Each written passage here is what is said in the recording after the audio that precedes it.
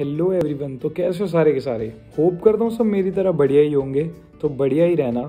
तो अभी रात के बज रहे हैं एक चालीस, और सुबह मैं मूर्थल गया था, वहाँ से आया और मैं सो गया।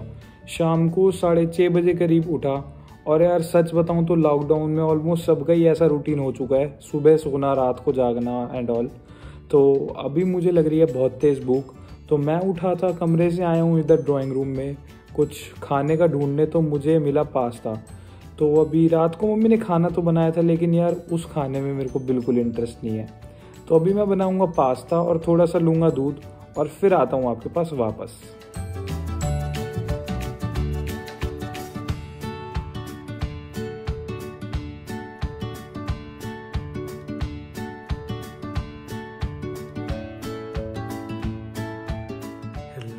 नमस्ते, सत गुड मॉर्निंग सुप्रभात हेटर्स को मारो मुँह पे लात। तो कैसे हो सारे के सारे? गाइस मैं अभी थोड़ी देर पहले ही उठा हूँ। अभी बज रहे हैं सुबह के नौ चालीस और रात को दो बजे करीब पास्ता और दूध पीने के बाद काफ़ी अच्छी नींद आई। तो अभी हमारा प्लान है पश्चिम विहार जाने का और वहाँ पे जाके खाएँगे हम अमृतसरी कुलचा। तो उसका आपको बताऊँगा रिव्यू एक छोटा सा और चलो, चलते ही हैं सीधा। तो आज की हमारी राइड होने वाली है ये नहीं, ये। तो चलो इसको बाहर निकालते हैं, थोड़ा सा साफ़ करते हैं, और फिर आपको लेके चलूँगा मैं पश्चिम विहार। तो चलो गए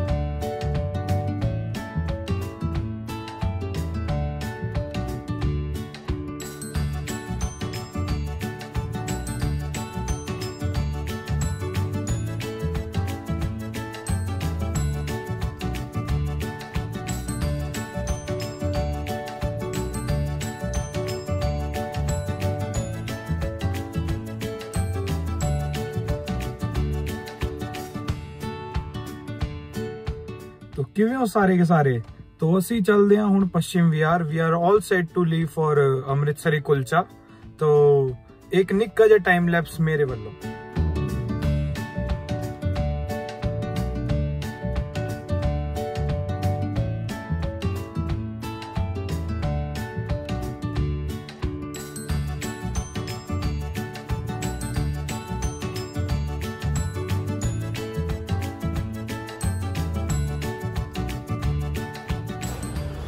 तो guys here we are at Baljeet Amritsari kulcha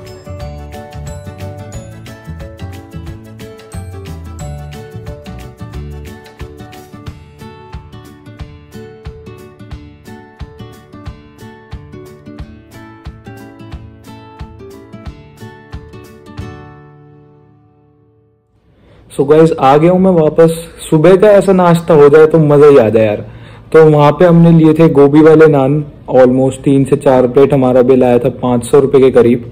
तो स्टार्टिंग में मक्खन थोड़ा उनने कम डाला था, लेकिन उसके बाद, कहने के बाद उनने भरी दिया मक्खन से। तो फिर वहाँ पे आप जाओगे एक सौ अस्सी रुपये या फिर दो सौ रुपये तक की प्लेट है। और छोले, रायता, प्याज और कुछ भी ले लो, वो सब अनलिमिटेड है, कितनी ही बार लो। तो फिर मज़ा आ गया, लेकिन काफ़ी टेस्टी था। तो आप भी विज़िट कीजिएगा वहाँ पे। ये है पश्चिम विहार फ्लाईओवर से उतर के राइट लेना है ट्रांसफॉर्मर वाली रेड लाइट से। और वहाँ पे सीधा सीधा जाओगे लेफ़्ट साइड में आपको मिल जाएगा बलजीत अमृतसरी कुलचा। तो ट्राई दिस ओके गाइस चलो। हेलो अगेन गाइस तो I am back with my vlog तो सुबह के अमृतसरी कुलचे के बाद अब जाके मुझे कुछ अच्छा देखने को मिला है, वो है ये। Yes it's bhalle papdi. तो मैं भल्ला तो पसंद नहीं करता, लेकिन हाँ मुझे पापड़ी बहुत अच्छी लगती है। एक शॉर्ट नोट गाइस मेरी आपसे इतनी रिक्वेस्ट है कि आप कभी भी कुछ लेते हो किसी स्ट्रीट वेंडर से रेड लाइट से तो कभी ये मत देखना कि आपको इस चीज़ की ज़रूरत है या नहीं।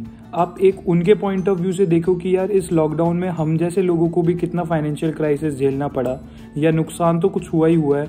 तो गाइज़ इनका सोचो कि इनका और कोई सोर्स ऑफ़ इनकम नहीं होता, जैसे कि स्ट्रीट वेंडर्स और ये सब। तो गाइज़ इनकी हेल्प करने के लिए ये लोग भीख नहीं मांगते तो अपनी मेहनत से कुछ कमाना चाहते हैं। तो गाइज़ इनकी हेल्प करने के लिए आप इनसे चीज़ें ले लिया करो, इनको थोड़ी हेल्प मिल जाएगी। तो बस यही एक मेरी छोटी सी रिक्वेस्ट है आप लोगों से। ज़रूरी नहीं है कि आपको कोई ज़रूरत हो तो ये आप कोई चीज़ खरीदो। आप इनकी हेल्प करने के लिए भी खरीद सकते हो। तो बस यही मेरी छोटी सी आपसे रिक्वेस्ट थी। मैंने इसलिए ये सब लिया था। काफ़ी अच्छा लगता है मुझे ये सब खा पी के या फिर इन लोगों की हेल्प के बारे में सोच के। तो आप भी छोटा सा करना, सबको अच्छा लगेगा। तो वीडियो में कुछ भी आपको अच्छा लगा हो तो उसको लाइक करना, अपना बेस्ट पार्ट कमेंट में बताना और वीडियो को जितना हो सके उसको शेयर करो। तो चलो इसी नोट पे करते हैं वीडियो को एंड और सब्सक्राइब करना मेरे चैनल को। Thank you guys